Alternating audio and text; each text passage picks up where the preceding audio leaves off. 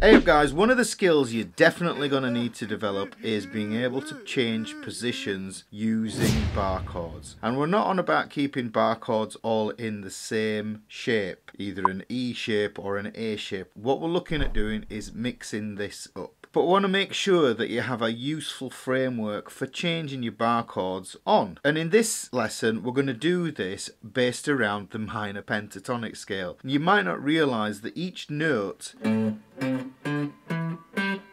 of our minor pentatonic scale is actually a root note for a chord as well. Not only can we use these guys for bar chords, but we can also use them for other voicings of chords, shell chords and those jazzy expensive sounding chords as well. But for the purpose of this lesson, we're going to look just at bar chords and how we would switch between these bar chords around this framework of using this minor pentatonic. We're going to start on this A note here. Because this is the tonic for the key, if we're thinking in the key of A minor, then I know from the 7-7 grid that this is where chords 1, 4 and 5 live in the minor grid. Let's just apply those notes in the scales. You can see that's actually the first, the third and the fourth note. The intervals however are different. That is the first, that's the flat third, that is the perfect fourth and that is the perfect fifth.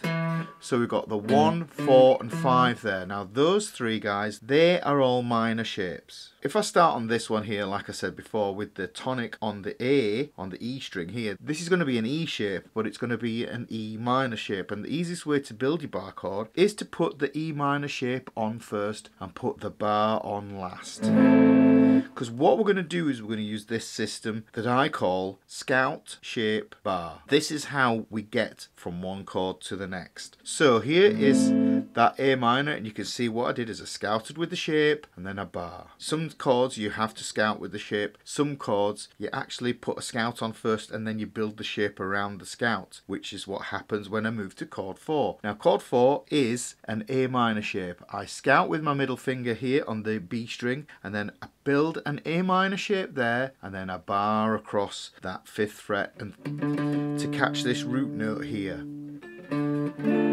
and that would give me a D minor. Now I know that this shape is exactly the same going up so what I can do is I can use this scout that I put on as a guide to help me to move up a whole step. If I take the pressure off the bar and take the third and fourth fingers off and slide up with that middle finger then what I can do is I can reapply the chord a whole step higher. You can do it keeping all fingers on but if you want to make sure that you know what you're doing then you can see exactly what's going on there. By having this sliding scout, we can move it systematically and slowly and really observe what's going on there. And that gives me my E minor. So let's put those three together. We get the A minor, then I'm going to scout with my middle finger, build the shape, build the bar, and then using that sliding scout I'm going to move up to chord 5 there. So I've got my three minor chords that I need to build around this minor pentatonic framework. So that is the tonic. Now ordinarily in the key we would have the chord 1 in minor chord 2 in the minor which would be a diminished chord and chord 3 which is actually a flat 3 major chord. And because it's a major chord we're just going to apply an E shape here. So now I know where that chord needs to go I can can put my scout on, put my shape on, put my bar on. So if I were moving from an A minor here, for instance, to the flat third here, I would slide that shape up there. And the way I see it, it's almost like a train running along the tracks. A train wouldn't jump off the tracks to go to the next station. What we do is we stay on the tracks, which is the strings, and the grooves that we have in our fingertips, those are the wheels of the train. So A minor, I'm using hand to eye coordination here with fingers three and four. I'm looking ahead to where they need to go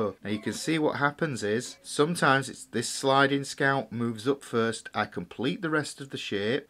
I put the bar on. So moving between those two. So that's four chords that we've done so far. So we've got A minor, we've got a C major, and then when I want to go down here to the D minor, a scouted shape bar, and then to move up a whole step, we get into the E minor. A minor, C, D minor, E minor. We've got one chord left now, and if we think about it, if we were to play our pentatonic scale, we went this note here would be on the D string. And because it's on the D string, it's going to be a D shape. And we should really just get this shape here. But what can happen with this is it can sound rather thin. If you listen to the bulk of the chord here, you can hear that it's quite thin, whereas there's a lot of A minor in that strum. So what we can do is we can take this shape, which is the D shape, and move one shape lower in the CAGED system, which would be an E shape, which would mean we play a G major. If we take this note here, so we can play G major here. So let's look at the chords that we have with the root on the E string now. We've got a G, got an A minor, we've got a C. Let's look at the chords on the A string. We've got a D minor and and an E minor, and then back to A minor, which is home. And that gives you a useful framework to be able to move around that minor pentatonic based idea there. You can write lots of songs with this, and it's a good idea to practice changing from, say, something like this D minor. If I change from here, you can see that the hand shape is very much the same. When I take my hand off, I keep the shape as much as I possibly can. But as I get to where I need to go, I put my scout on first, put the shape on, and then apply the bar. And I would do what I call a two chord loop here, and I would just sit and practice changing between those two chords and I'm scouting shape bar. Scout shape bar. Scout shape bar. So just sitting changing between those two chords making sure they are consistent. And you can do that with any two chords. Say I take this E minor here to a C. It's a quite simple move but I'm scouting shape bar. Scout shape bar. Scout shape bar. Scout shape bar. Let's take E minor to a G for instance. That's quite a distance. So this is where your hand to eye coordination comes in. Scout shape bar on the E minor. I scout shape bar on the G. Take your time, look at where you're going. Scout shape bar on the E minor again.